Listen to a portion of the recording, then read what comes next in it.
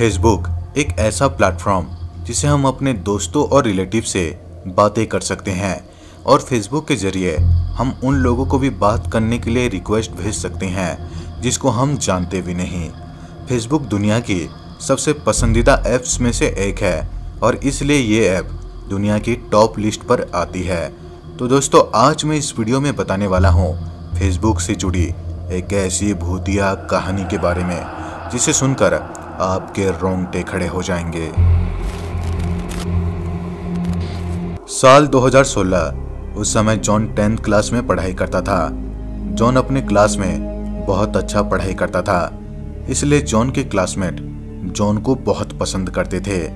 John WhatsApp, Facebook और Instagram इन सब चीज़ों से दूर रहता था, क्योंकि जॉन को यह पता था कि वो अगर सोशल मीडिया यूज़ करना शुरू कर दिया तो उसके पढ़ाई से ध्यान हट जाएगा।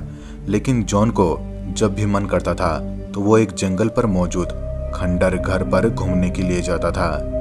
उसके बाद कुछ दिन ऐसे ही बीतने लगते हैं। एक दिन जब जॉन अपने स्कूल से घर आता है तो वो देखता है कि टेबल पर एक पुराना फ़ोन है।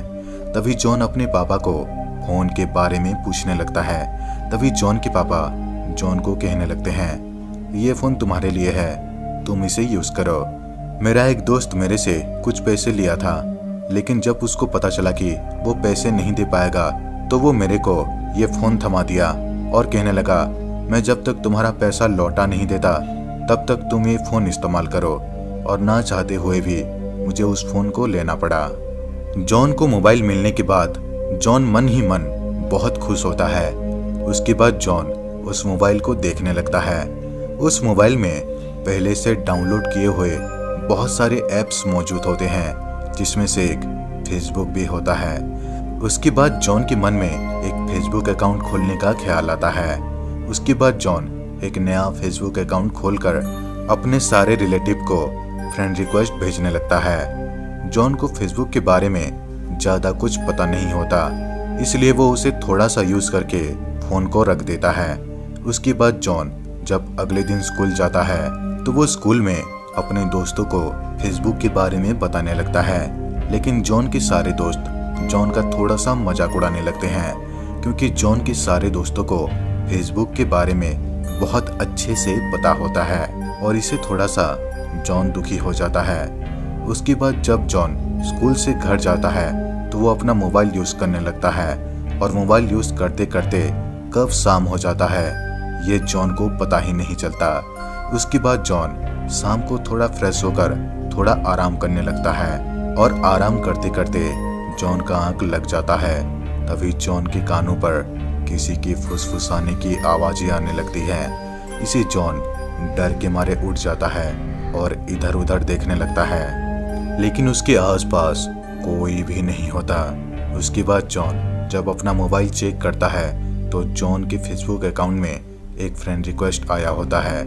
जिसका नाम था केविन। उसके बाद जॉन फ्रेंड रिक्वेस्ट एक्सेप्ट करके मैसेज भेजने लगता है, लेकिन उधर से एक भी रिप्लाई नहीं आता।